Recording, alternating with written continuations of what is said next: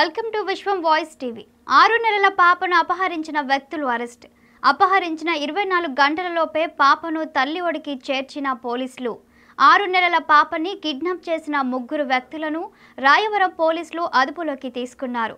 Rayavaram SI PV SSN Suresh కథనం ప్రకారం మండలంలోని కృష్ణా జిల్లా గుడివాడకు చెందిన పావర్రు జానకి భిక్షాటన చేస్తూ పసలపూడి గ్రామంలో ఓ శాంతి ఆశ్రమం వెనుక ఒక గుడారం ఏర్పాటు చేసుకొని జీవనం సాగిస్తూ ఉండేది. ఇదిలా ఉంటే ఈ నెల మూడో తారీఖు శుక్రవారం రాత్రి తొమ్మిది గంటలకు గుడారంలో జానకి తన పాపను పడుకోబెట్టి భోజనం చేస్తుండగా వెనుక నుండి ఏదో అలికిడి వినబడి చూసేసరికి గుడారం వెనుక నుండి ఎవరో గుర్తు తెలియని వ్యక్తి వచ్చి నిద్రపోతున్న ఆమె ఆరు నెలల కుమార్తెను ఎత్తుకొని పోవుచుండగా రోడ్డు దగ్గరలో నిలిపి ఉన్న పసుపు రంగు ప్యాసింజర్ ఆటోలో ఆ వ్యక్తి పాపతో ఎక్కుతుండగా ఆమె కేకలు వేసేసరికి ఇరువురు ఆటోలో వేగంగా రామచంద్రపురం బైపాస్ రోడ్డు వైపుకు తప్పించుకుపోయారని ఆమె వేసిన కేకలు విని అక్కడ ఉన్న ఇద్దరు వ్యక్తులు ఆటో వెనకాల వెంబడించగా దుండగులు రామచంద్రపురం బైపాస్ రోడ్డులో తప్పించిపోయినట్లు స్థానికులు తెలిపారు. అందరికీ నమస్కారం.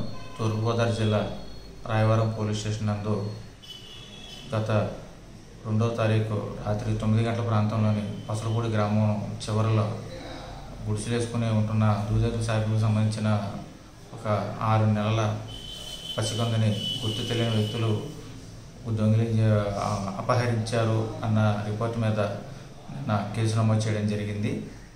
దీని మీద మేము ముద్దాయిని ట్రేస్ చేసాం రామచంద్రపురం పట్టణానికి చెందిన గంపల విజయశేఖర్ వెంకటేష్ మరియు భవానీ ప్రసాద్ అనే ముగ్గురు ఒక ఆటోలో వచ్చి ఆ పాపని అపహరించినట్టుగా మేము కనుగొన్నాం. ఇందులో కీలకంగా వ్యవహరించిన గంపల విజయశేఖర్ ఈ పాపని ఈ భిక్షాటన చేసుకునే వారికి అమ్మడానికి ప్రయత్నించినట్టుగా దర్యాప్తులో వెల్లడైంది.